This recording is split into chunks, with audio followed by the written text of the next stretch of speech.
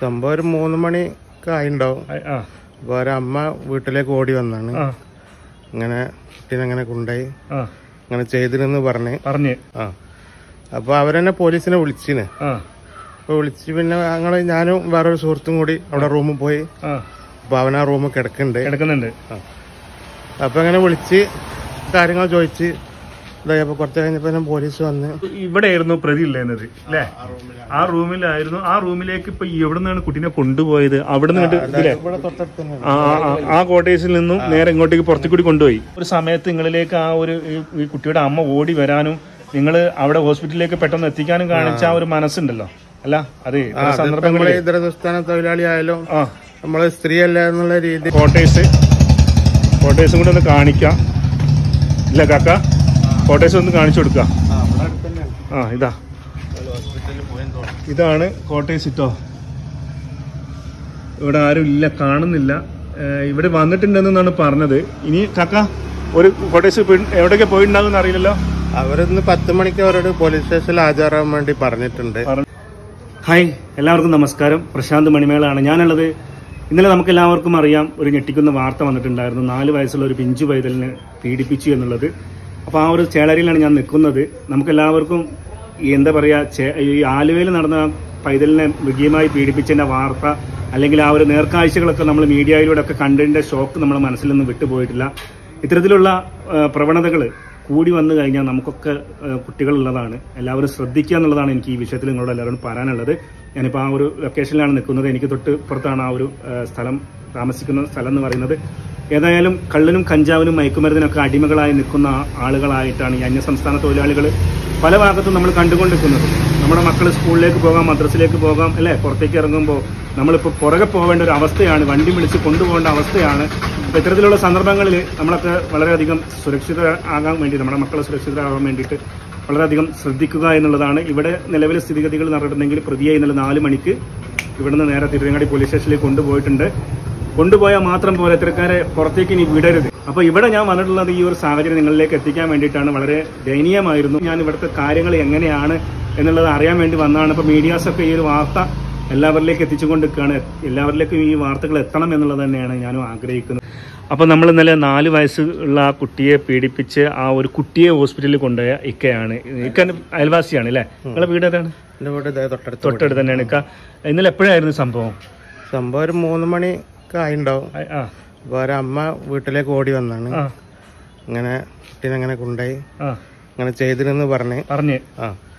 അപ്പോൾ അവരെന്നെ പോലീസിനെ വിളിച്ചിന്. അപ്പൊ അപ്പോൾ വിളിച്ച് പിന്നെ ഞങ്ങൾ ഞാനും വേറൊരു സുഹൃത്തും കൂടി അവിടെ റൂമിൽ പോയി. അപ്പൊ അപ്പോൾ അവൻ ആ റൂമിൽ കിടക്കുന്നുണ്ട്. കിടക്കുന്നുണ്ട് അപ്പോൾ അങ്ങനെ വിളിച്ച് കാര്യങ്ങൾ ചോദിച്ച്. ഇതായി അപ്പോൾ കുറച്ച് കഴിഞ്ഞപ്പോൾ ഞാൻ പോലീസ് വന്ന്. അവനെ പോലീസുകാർ കൊണ്ടുപോയി. കൊണ്ടുപോയി. പിന്നെ കുട്ടീനെയും അമ്മനെയും കൂടി ഞാൻ അങ്ങനെ പെട്ടെന്ന് തന്നെ എവിടെ ഏത് ഹോസ്പിറ്റലിൽ കൊണ്ടുപോയി? തിരങ്ങാടി ഗവൺമെന്റ് തിരുവനന്തപുരം ഗവൺമെന്റ് ഹോസ്പിറ്റലിൽ ഹോസ്പിറ്റലിൽ ഉണ്ടായതാണ് ഇപ്പോ ഇതാണല്ലോ അല്ലേ? ഈ ഒരു ഇവിടെയായിരുന്നു പ്രതി ഇല്ലേന്നത് അല്ലേ?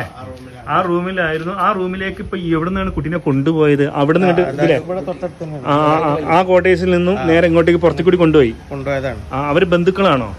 അവർ റിലേഷൻ ആണെന്നാ പറഞ്ഞത്. പറഞ്ഞത്. ആ. എന്നിട്ട് പ്രതിനെ എപ്പോഴാണ് കൊണ്ടുപോയി ഇത് പ്രതിന് ഒരു നാലു മണിയായപ്പോ പോലീസ് എത്തി എന്തായിരുന്നു കുട്ടിയുടെ ഒരു അവസ്ഥ എന്തായിരുന്നു അപ്പോ? കുട്ടിക്ക് വയറുവേദന ഒക്കെ എടുക്കണ്ടെന്ന് പറഞ്ഞ് വേദന ഉണ്ട് അങ്ങനെ ഒരു അമ്മനോട് വന്ന് പറഞ്ഞതാണ്. അപ്പൊ അമ്മ പെട്ടെന്ന് തന്നെ വീട്ടിലേക്ക് ഓടി വന്നു തൊട്ടടുത്ത വീടായതുകൊണ്ട്. ഓടി വന്നു. ആ പിന്നെ അവരിവിടെ കടയിലൊക്കെ വരണാണ്.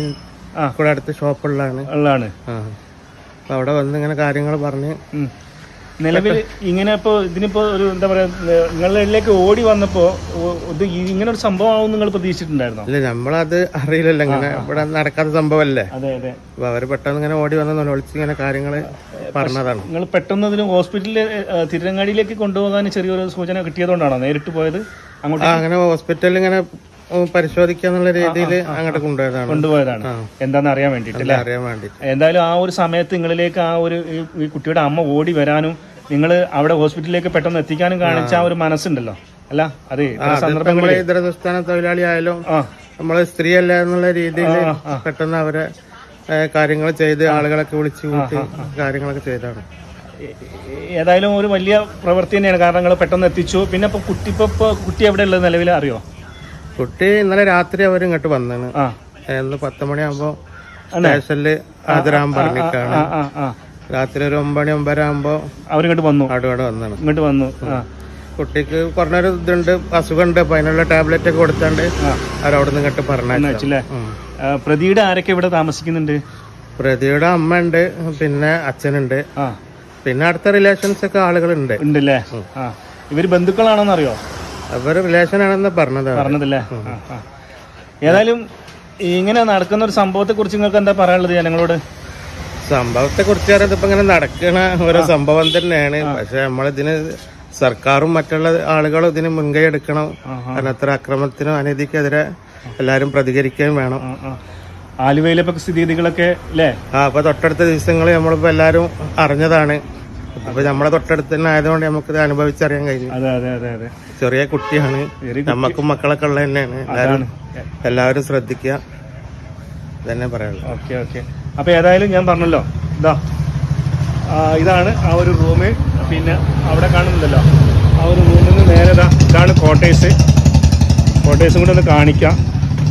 ഇല്ല കാക്ക. കോട്ടേഴ്സ് ഒന്ന് കാണിച്ചു കൊടുക്കാം. ആ ഇതാ. ഇതാണ് കോട്ടയം സിറ്റോ. ഇവിടെ ആരും ഇല്ല കാണുന്നില്ല. ഇവിടെ വന്നിട്ടുണ്ടെന്നാണ് പറഞ്ഞത്. ഇനി കാക്ക ഒരു കോട്ടേഴ്സ് എവിടെയൊക്കെ പോയിട്ടുണ്ടാകുമെന്ന് അറിയില്ലല്ലോ? അവരിന്ന് പത്ത് മണിക്ക് അവരോട് പോലീസ് സ്റ്റേഷനിൽ ഹാജരാകാൻ വേണ്ടി പറഞ്ഞിട്ടുണ്ട്. പറഞ്ഞിട്ടുണ്ട്. അപ്പൊ അങ്ങോട്ട് പോയതാവും. അങ്ങോട്ട് പോയതാവും അല്ലേ?